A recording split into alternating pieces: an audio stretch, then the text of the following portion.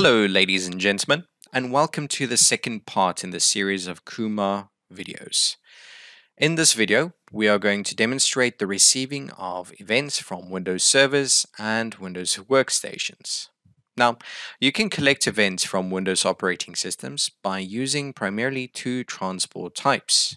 This is in the format of Windows Event Collectors and Windows Management Instrumentation, or WMI. In both cases, we will need to use two microservices at once. Firstly, the collector, and secondly, the agent. Now, the collector is installed on the collector server that runs on Linux.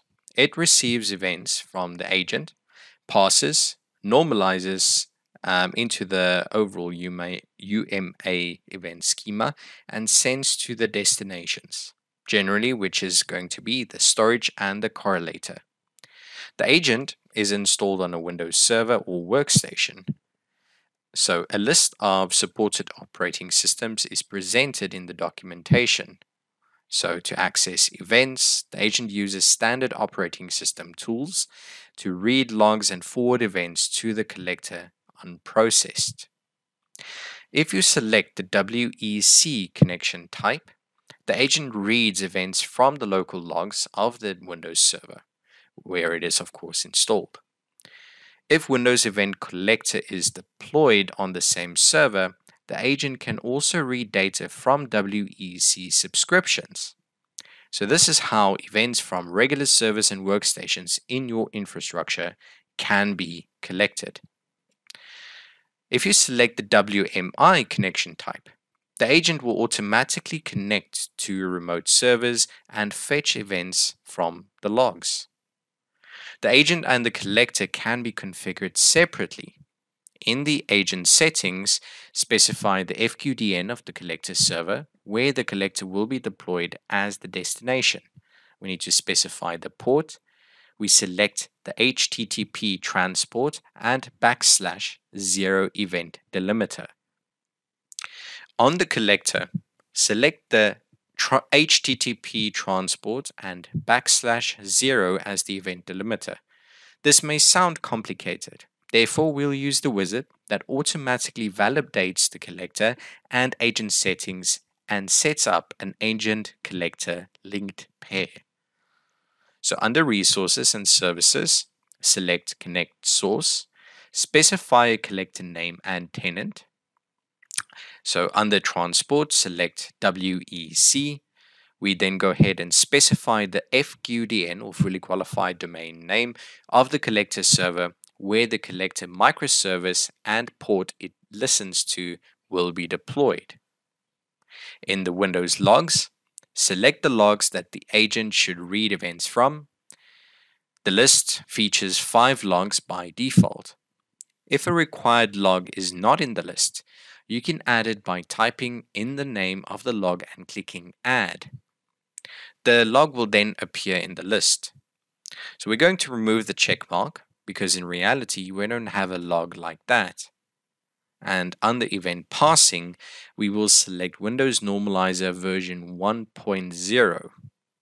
So we can see a list of extra normalizers that it contains. And we go to the routing section add storage and cor uh, correlator as destinations.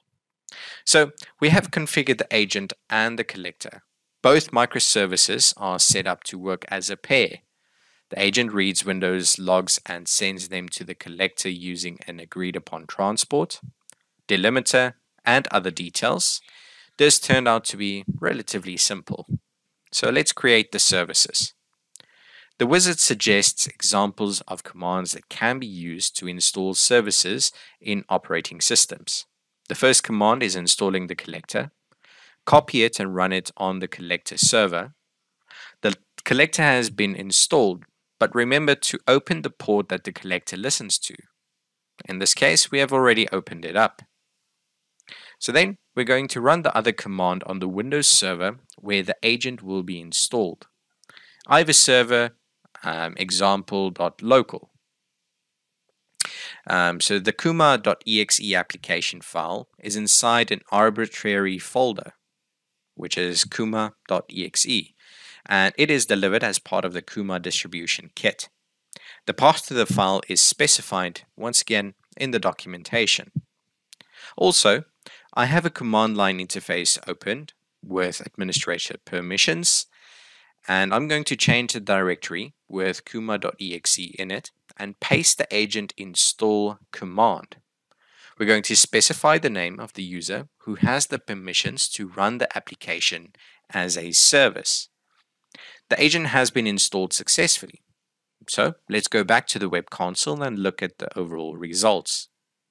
The demo Windows collector and the agent, which is linked to it, have appeared in the list of active services. The suffix, which is auto created, suggests that the agent was created in conjunction with the collector. And with the help of the wizard, rather than obviously using a standalone resource, the agent's configuration can only be edited in the user interface um, for editing the collector. So let's look at the events. Overall, Kuma receives events from the server example local, where we have installed the agent. Once we open up the details of one of these events, we can then clearly see all of the necessary information has been found and has been ingested by our SIEM solution. All right, ladies and gentlemen, thank you so very much for your attention. Thank you for your time watching this video. Hope to see you in the next one. Bye bye.